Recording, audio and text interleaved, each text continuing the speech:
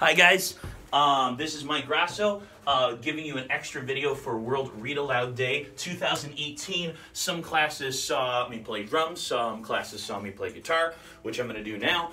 I wanted to make sure I made separate videos for all of them, so if you want to show your class some extra stuff that they didn't get a chance to see because we ran out of time, it is going to be available for you. So I'm going to post all of these. One will be me playing drums, one will be me playing guitar really quick, uh, one will be me reading from I Am Drums, and one will be me reading from a brand new book. You can check out all of those. All right.